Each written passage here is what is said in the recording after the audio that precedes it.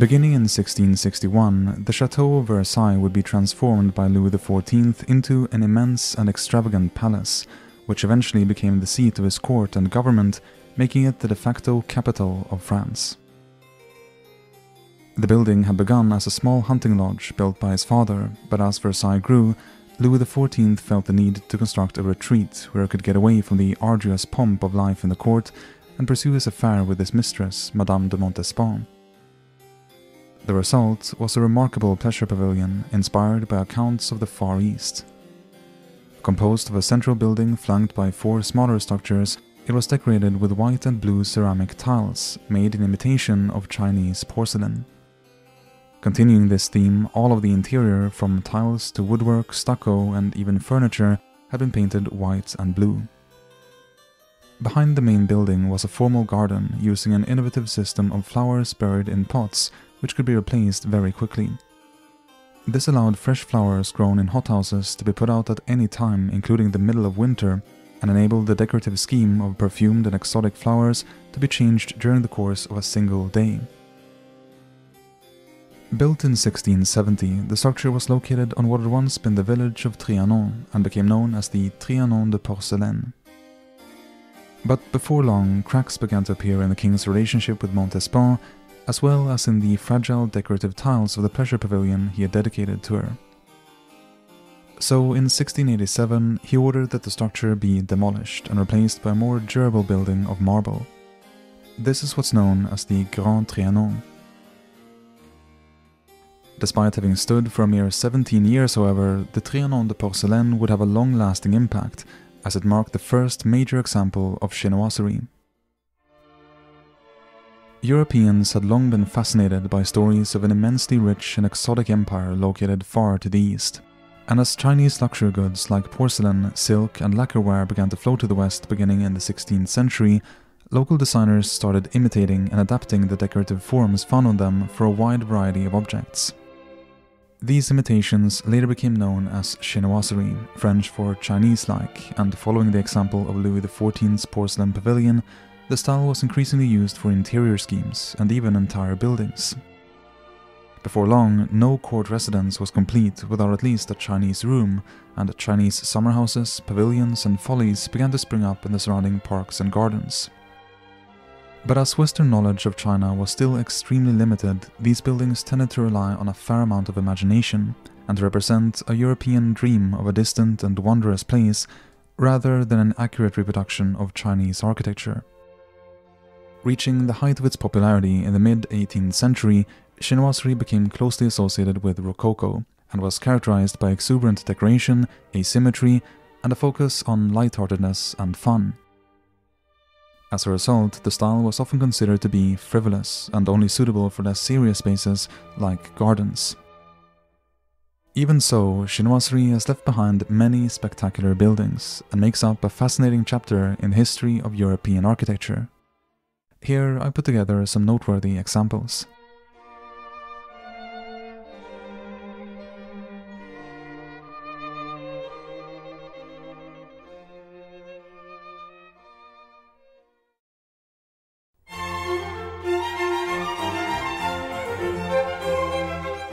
75 years after the construction of Louis XIV's porcelain pavilion, Frederick the Great of Prussia was building his own royal retreat on the outskirts of Potsdam near Berlin.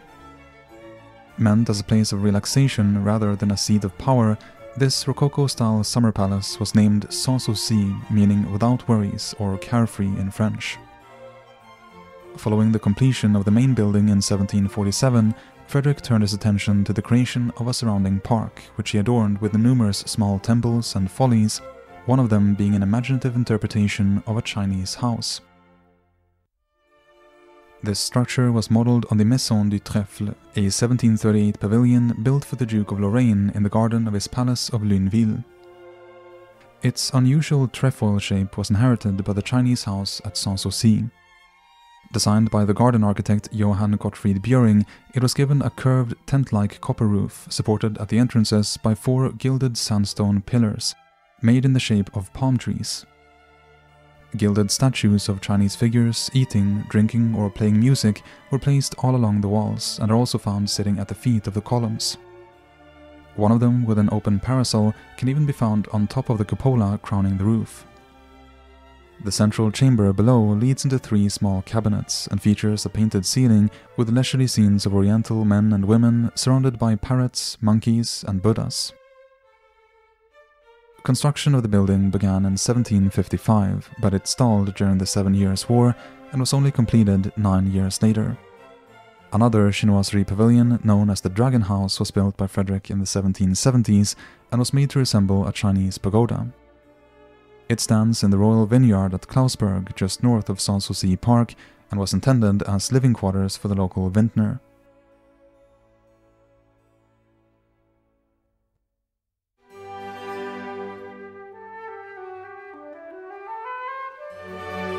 Prussian king had been stimulated to make the second Chinese inspired building by the publications of a British architect called Sir William Chambers.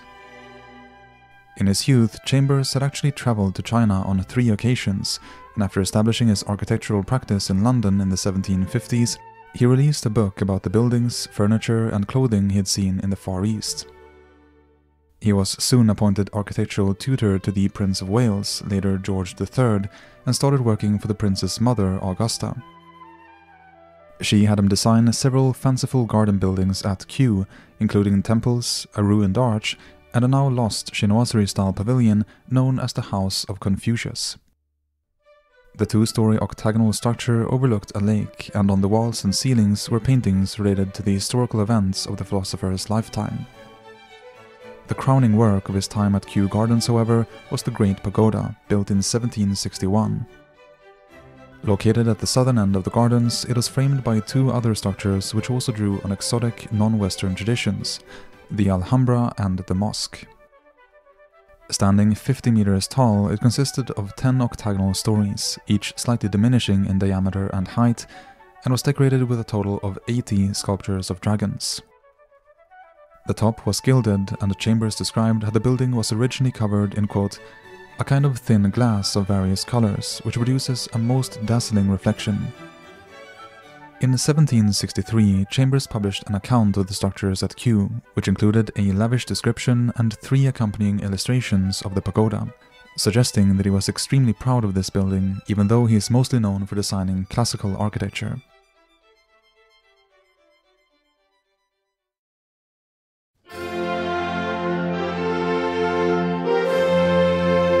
The morning of the 24th of July 1753, a 120 shot cannon salute could be heard thundering from the royal palace of Drottningholm near Stockholm. This marked the beginning of the birthday celebrations for the 34 year old Queen Louisa Ulrika of Sweden. The festivities lasted the entire day, and in the afternoon, the king invited her for a promenade in the park where she found a surprise gift. In a letter to her mother, Louisa wrote, quote, he brought me to one side of the garden, and I was surprised to suddenly be part of a fairy tale, for the king had built a Chinese castle, the most beautiful one can see. She continues to describe how the entire court had dressed up in Chinese clothes, as well as her eldest son, the seven year old Crown Prince Gustav, who read her a poem and presented her with a golden key to the building. Having been prefabricated in Stockholm, this log structure known as the Chinese Pavilion had been transported to the palace in secret and quickly put up before the queen could notice a thing. However, it wasn't built to last, and within a decade it had become dilapidated. A new, larger, and more durable pavilion was constructed in its stead, which was finished in 1769 and still stands today. Heavily influenced by French Rococo, it consists of four smaller structures and a main building connected to its wings by a series of curved rooms. Inside, the pavilion is decorated with Chinese inspired locally produced furniture and Chinese luxury goods imported through the Swedish East India Company. The royal family lived in the pavilion in summer and would have dinner in one of the smaller buildings called the Confidence. There, a dining table had been fixed on a lift device and could be set on the floor below before being hoisted up to the dining room. This meant that the royals could eat their dinner without the presence of servants, or en confidence as it was called. Following Crown Prince Gustav's ascension to the throne, there were also plans to erect a Chinese pagoda on a nearby hill. But like many other of the king's building projects, it was never realized because of his assassination in 1792.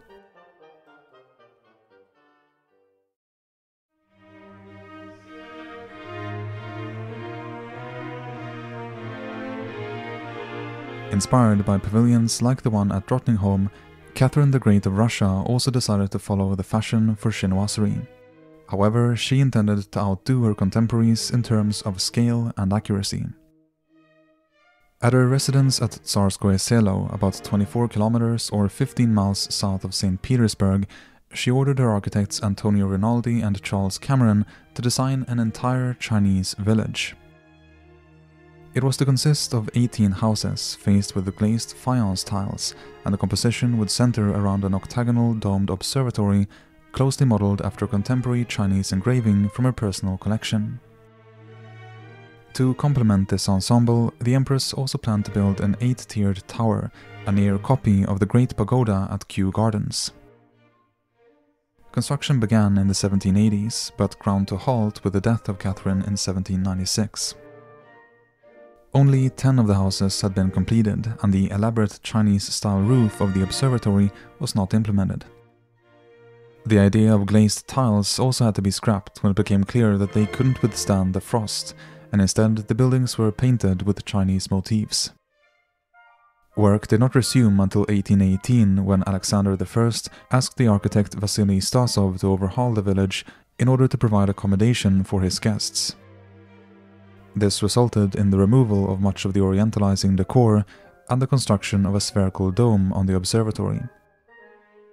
The village suffered serious damage in World War II, but with few funds available in the post-war period, restoration would have to wait until the 1990s. This wasn't Catherine the Great's only chinoiserie project. Just next to the village stands the Creaking Pagoda, named after the characteristic sound produced by its metal weather vane, and in the same park you can find several ornate Chinese-inspired bridges and the ruins of what was once the Chinese theater.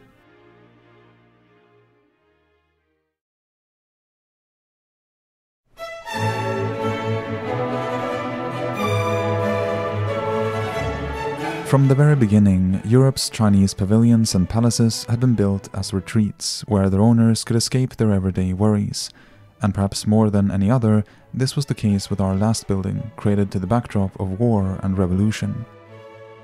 In December 1798, King Ferdinand of Naples and Sicily left his capital on the mainland as the armies of the French Republic advanced from the north. Within a month, the city had been captured and Ferdinand's old kingdom had been replaced by the Parthenopean Republic. Under the protection of the British Navy, he escaped to Sicily, where he would mostly remain until the defeat of Napoleon allowed him to permanently recapture the mainland in 1815.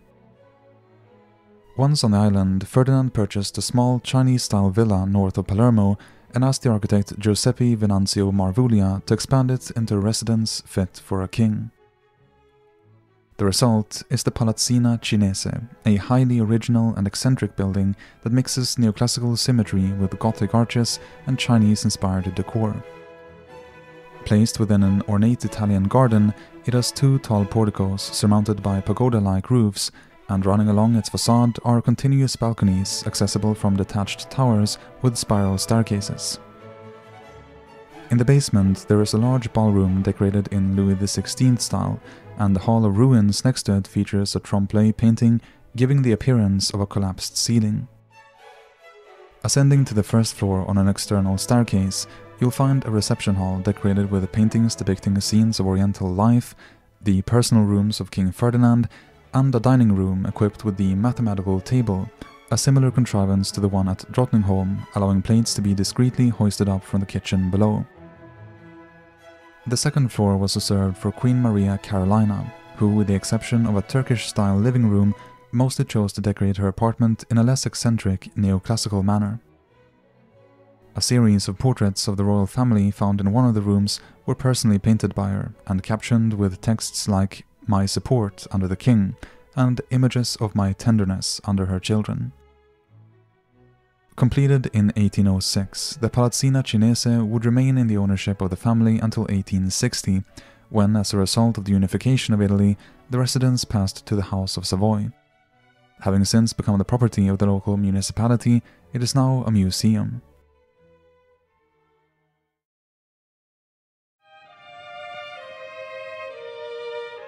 As the 18th century drew to a close, the Orientalist craze was gradually replaced with a strict neoclassicism. With the outbreak of the French Revolution, the decadence and frivolousness of chinoiserie was shunned, and morality took over as the new custom, mimicking the purity of the Roman Republic and Athenian democracy as a way to counter aristocratic excess. The style continued to wane during much of the 19th century, when the appeal of China and East Asia had to compete with other exotic tastes, such as the Turkish, Egyptian, Gothic, and Greek. However, chinoiserie never completely went away and remains popular in interior design even today.